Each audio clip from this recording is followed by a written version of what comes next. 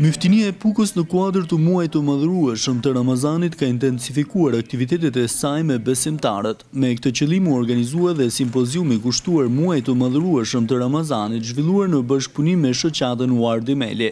Në fjalën e tij, myftiu i Pukës, Gëzim Kopani u ndal tek rëndësia e muajit të Ramazanit.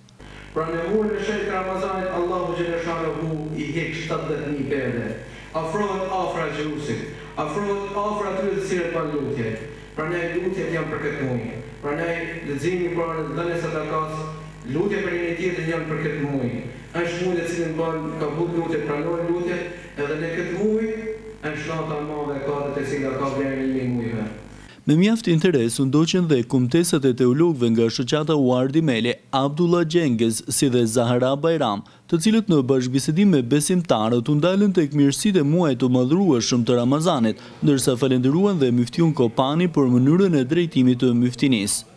Aktiviteti vijoi dhe me kumtesa të tjera, të cilat lidheshin me muajin e Ramazanit dhe vlerën e agjërimit për besimtarët. Profeti Muhamed thotë, Kushdo që ofron një gotë ujë agjëruesit për të çelë iftarin, kjo do të shkruhet atij sevap.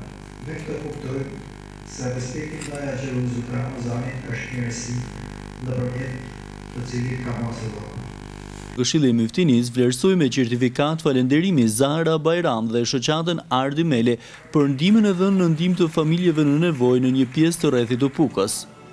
Pjesë e këtij aktiviteti ishte dhe transmetimi i një dokumentari kushtuar këtij muaji, ndërsa më pas tryeza e përbashkët e iftarit i mblodhi besimtarët në tryezën e mirësisë, mes lutjeve që adhurimi i tyre përmes agjërimit të ishte i pranuar nga Krijuesi Fuqiplot.